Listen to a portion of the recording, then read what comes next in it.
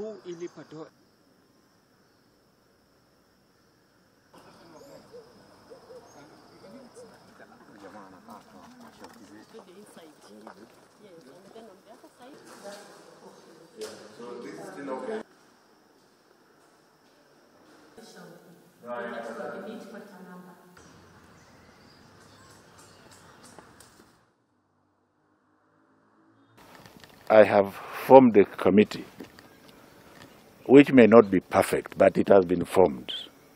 And we have said any other person who has, including you,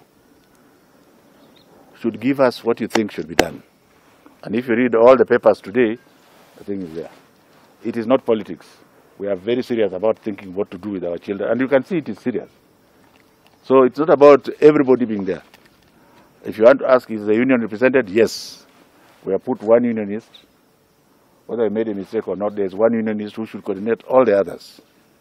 And then let us move where we are going.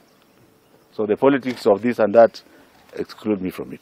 If we are going to be bold enough to open, the public must agree that we, are, we shall change our mindset and behave in a more civilized manner, not so egocentric.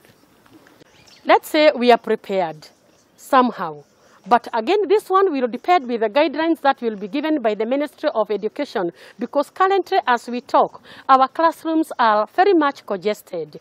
And therefore, I want to believe that there will be a way of how the students will be reporting. Maybe they, we, we may consider the Form Fours reporting first because the whole school may not be able to report, they will not be able to keep the social distancing because beginning of the year, we heeded to the directive of our Uh, our, our president about the 100% transition. And therefore quite a number of classes they are they, they, they are densely populated. We have so many students and it may be an issue to, for the social distancing